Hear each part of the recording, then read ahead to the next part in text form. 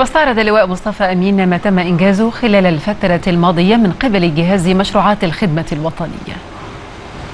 قامت الشركة الوطنية للتبريدات والتوريدات وخلال الفترة من يناير 2017 وحتى الآن بتدبير ما يزيد عن 300 ألف طن من السلع الغذائية الأساسية من لحوم ودواجن وزيت طعام وغيرها. وقد تم تسليم وزارة التموين نحو 50% منها. وتم طرح الباقي من خلال منافذ البيع الثابتة والمتحركة التابعة للجهاز في الأحياء الشعبية بالمحافظات. كما قامت الشركة الوطنية لاستصلاح وزراعة الأراضي الصحراوية بشرق العوينات بتسليم وزارة التموين هذا العام.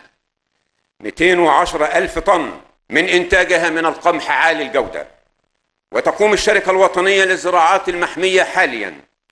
بإنشاء 4780 صوبة زراعية كمرحلة أولى في مناطق الحمام وفايد والعاشر من رمضان